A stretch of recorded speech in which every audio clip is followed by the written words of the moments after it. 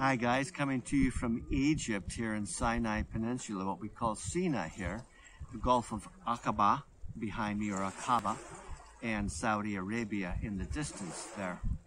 Uh, a good time and place to mention precession. What is precession? Precession is a couple of different things. There's many things culturally, but it's one thing um, physically with the earth. It, it, describes the wobble of the earth, okay, and how long it takes the earth to go around in one complete circle of wobble. If you think of a, a top on a surface and the, the, the top is spinning and then it loses its energy and it describes a circle when it starts to wobble around.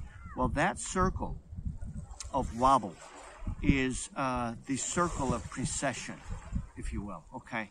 So it, it, it takes actually, it's a long, long, slow, majestic process because it involves the sun going through the, uh, the zodiac in the sky or the different constellations in the sky. The same way we have moon over zodiac, but the sun actually goes through in the opposite direction to the moon. And the moon is much, much quicker, uh, traversing each constellation every day and a half to three and a half days in the biodynamics course, okay? And the sun goes in the opposite direction in the progression of the constellations uh, to the moon. This is one curiosity about it. But so let's say um, we're describing the wobble of the Earth in, in a circle here. I don't know if you can see this, but uh, if you put your 12 up here, you're the top of the circle, and over here we're at one degree, just just tick one little degree. That takes 72 years, as it turns out. And all of this is a way of, of doing a massive time clock for planet Earth, for, for this human world, but also astronomically, astrologically, energetically.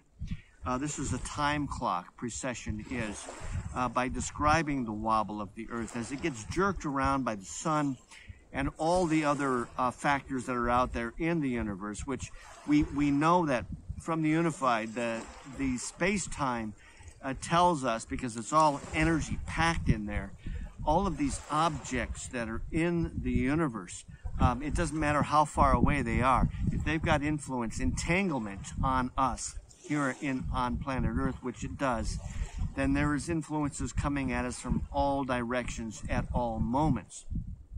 So precession is also sort of a net effect of all of that. Now, biodynamics, in, for the, those of you in the Essential Biodynamics course, um, it doesn't affect anything you're learning about the moon rhythms or anything you have to do in the farming, in the lifestyle, the health stuff. Um, but Suffice to say that precession is the larger energetic container that biodynamics and all this cultural stuff uh, sits inside of, okay? Because one degree takes 72 years, most of us will go through our entire lifetimes uh, while experiencing only one degree of earth wobble. So it's not something we can notice. It's very, very slow. So um, what it describes also is the sun going through these constellations in the sky, uh, or to us in the sky. But we see it sitting static out there every day, day after day, and we know that we're rotating and the sun is just basically sitting out there. But slowly it actually, it does uh, rotate, it does move with regards to all of these other constellations. Now, if you look at your biodynamics calendar, and I'm asking you to get it out and to actually open it up and look at it, okay? Sorry for the work. But this is the, the Indian Biodynamics Calendar. This is where you really can appreciate it because of its succinct measurements on the exact moment when things are occurring.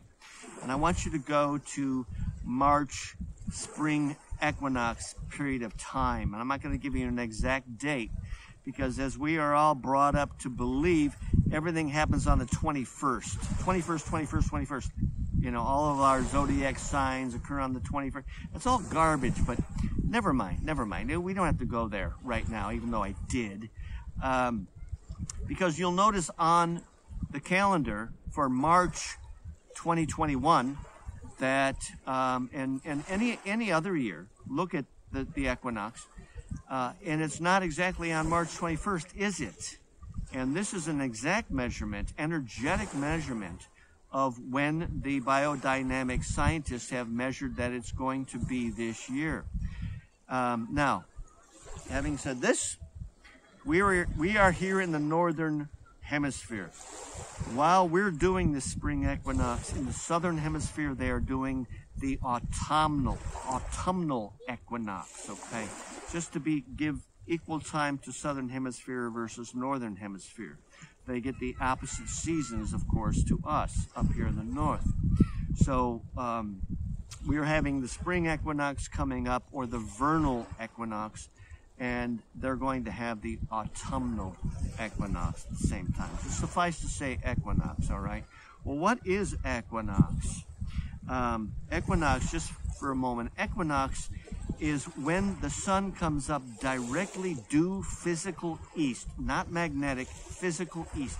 Very solid, physical, reliable point in in uh, in in physical reality. As we as we gaze across the earth, we see the sun come up. You can you can gauge by that. That's a, that's a very accurate measurement there. And then this is why this has been very important for the very far off um, ancients, uh, the Ice Agers, and even the ancients in our time of man, uh, many of which did not have this, this advanced technology.